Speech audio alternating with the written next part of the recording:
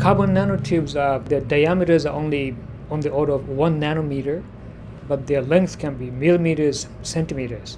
And individually, they, they have exhibited unusual properties, optical properties, electronic, magnetic properties. They're extremely anisotropic. But when you assemble them, um, typically what you end up with is, is a random network of, of nanotubes. So therefore, you, you, you lose all the wonderful properties of individual carbon nanotubes. What we discovered here is, is a new method. It's, it's a very simple method based on a vacuum filtration method to, to make, make huge uh, wafer scale films, okay, centimeters, inches, similar to uh, silicon wafers, right, in, in which the, the, nanotubes are globally aligned.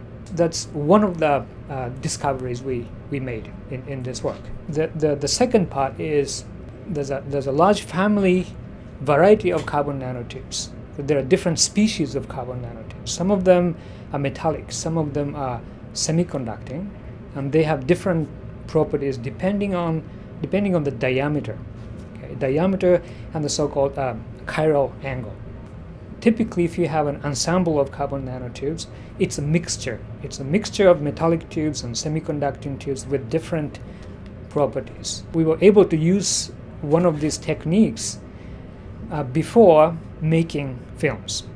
So, so the, the result is we, we now have a film okay, it, in which the, the, nanotubes are aligned, and also the, the, all the nanotubes uh, have the same diameter and same uh, chiral angle. Okay? So essentially, we have a single crystal-like big object, which consists of a, single chirality carbon nanotubes.